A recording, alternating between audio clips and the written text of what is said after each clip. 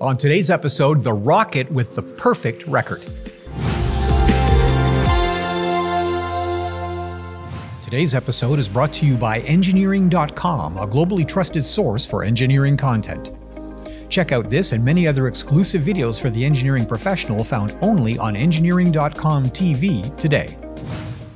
Designing, building, and flying large space launch vehicles is hard, damned hard. Ask Elon Musk.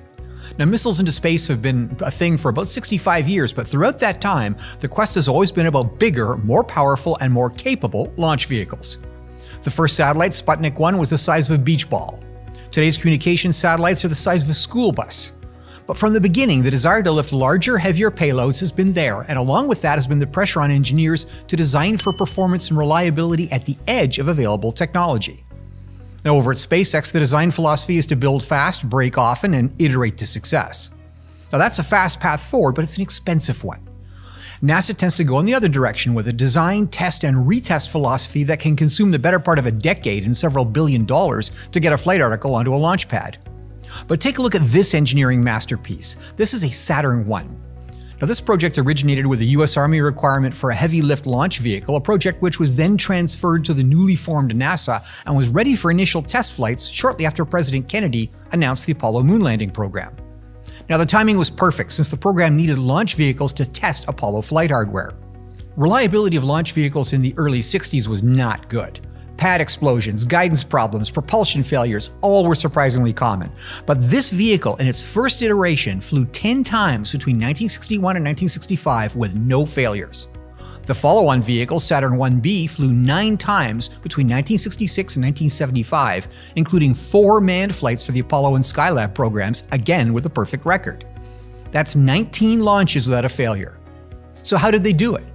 Well, from an engineering management perspective, NASA's George C. Marshall Space Flight Center managed the program with the first stage built by Chrysler and the ultimate second stage by Douglas.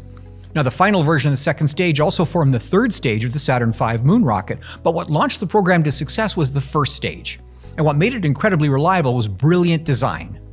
Instead of the time consuming and difficult task of building lightweight monocoque tank structures with bulkheads, Saturn I used a cluster of small diameter tanks attached to a spider like upper and lower frame. Now, this was brilliant for two reasons. The tanks themselves were elongated versions of designs that already existed for Jupiter and Redstone missiles, so materials, manufacturing methods, and stresses were already well characterized. Passing the loads through the spider-like end structures simplified load path calculation and allowed for easy mounting of the eight Rocketdyne engines. The disadvantages? Well, this design was heavy and relatively expensive to build in series production. But the program it was designed to serve was not a commercial launch service, and the very mission statement that drove Apollo meant trading money for speed. And in the end, the Saturn I series delivered a perfect flight record, and four crews delivered safely to low Earth orbit. Most engineering and transportation is about arranging and rearranging existing parts, subassemblies, and assemblies into new and useful things. In this case, a critical factor was an early program start, earlier in fact than the actual demand for heavy lift launch capability.